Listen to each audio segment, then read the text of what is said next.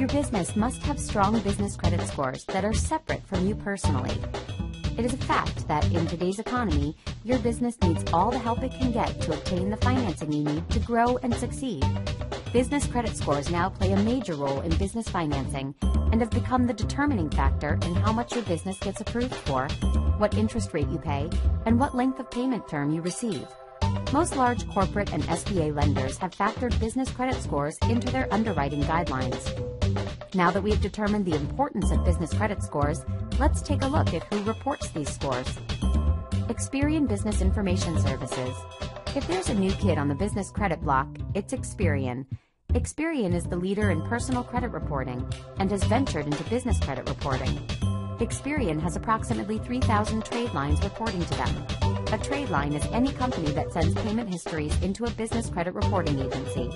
If you have a business credit card, equipment or vehicle lease, or a corporate account with any large supplier or retailer, they are most likely reporting to Experian Business. Equifax Business. Equifax has been in business credit reporting for a long time. They used to be called the Small Business Financial Exchange and only gathered credit information from member banks. While they have branched out from this practice, their major reporters are still banks. Therefore, anything your bank knows about you, so does Equifax. Dun & Bradstreet. Dun & Bradstreet is the oldest and largest player of the business credit reporting agencies. Before the financial crash, Dun & Bradstreet had about 6,000 reporting trade lines.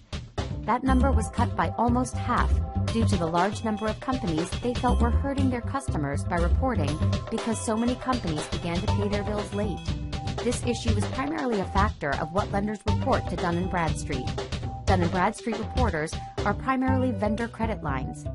These are businesses that extend credit to other businesses on net 30 credit terms.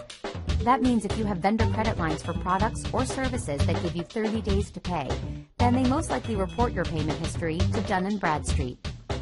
After you take the business finance pre-qualification test, we walk you through first checking your business credit scores and then building strong business credit scores that can help your business obtain larger amounts of financing and on better terms.